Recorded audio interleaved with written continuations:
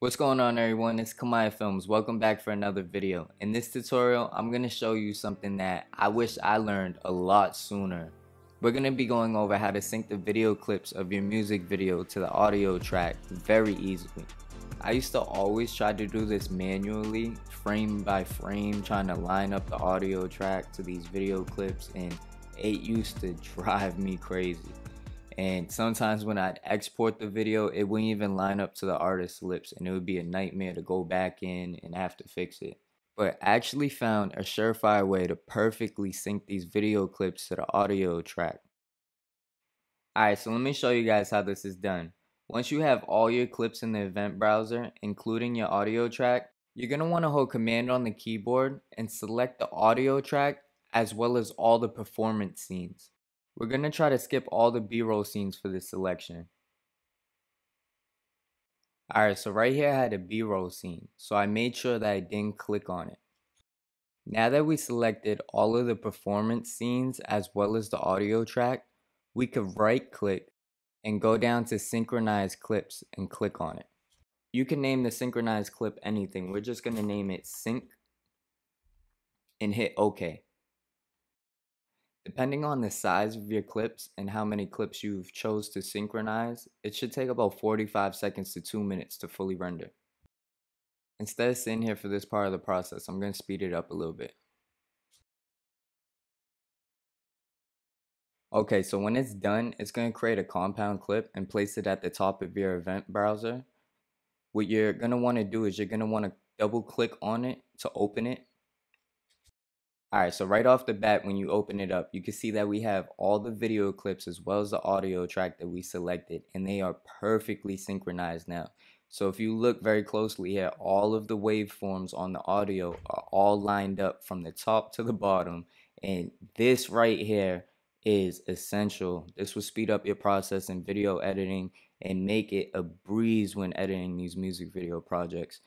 So all we need to do now is two more things. We just need to remove the audio from each of these video clips and then bring all of this back into our original project. So I'm gonna show you how to do that right now. Okay, so I'm gonna go to this top clip here and I'm gonna just grab this toggle on the decibels and bring it all the way down to the bottom. And then we're just gonna do that for the rest of these video clips as well. What we're essentially doing is muting each of these video clips without deleting the audio that they have. Now the only thing that should be unmuted should be the audio track on the bottom. Alright, let me show y'all how good it synchronizes these video clips to the audio track. All these things that you be saying to me and bring me to my lowest. I've been switching plans from A to B, I'm trying to control it. All these things that you say to me, I'm waiting for that. Now that I decreased all the audio on these clips, we could actually select everything once again and we're just going to copy it. So we're going to hit Command C and then we're going to head back into the original project where we're going to be editing the music video. And we're just going to hit Command V to paste these clips into it. So what we basically just did there is we took it out of our sync um, compound clip. So you could always jump back in there and you have all your clips synced to your audio. But in our original project, we now have the video clip sync perfectly to the audio as well. Now what we have is a great foundation to start making our edits and going into these performance scenes and just starting to cut and trim the things that we don't want. After we do all that, what should be left is a couple blank spots between each performance scene that we could then fill with B-roll, slow-mos, and then you just hit it with effects and transitions and damn near at that point the video is 80-90% done. I've used this hundreds of times and it's helped me every single time.